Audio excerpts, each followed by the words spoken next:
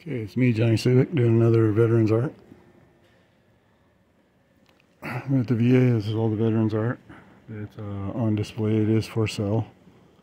So if you want to get down here to the Aurora Rocky Mountain Regional Medical Center, Veterans Hospital, here in Aurora, Colorado, you could buy uh, some of these.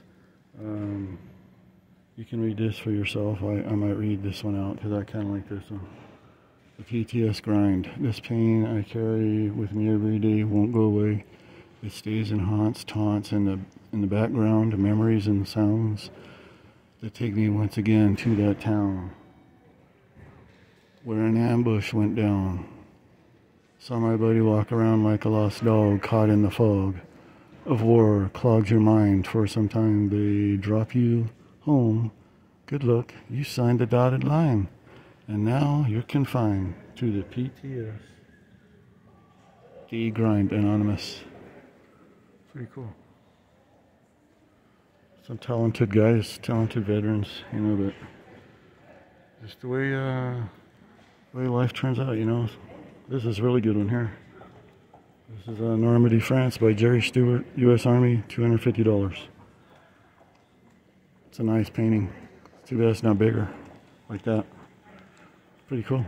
See, this is the, again, the, um,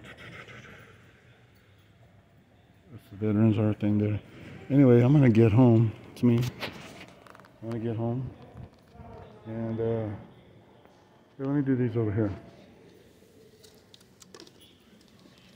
Do these other ones over here. Might as well in here. Got uh, Barbara Streisand there, Esther Hoffman, Howard, Jim Ojeda, U.S. Army. That's uh, like a truck. That is that one. That's just looking like a painting, blue sunset. There's a star, five point star, Morgana Penta. Brian as Asbeck. That looks pretty neat. Pretty good.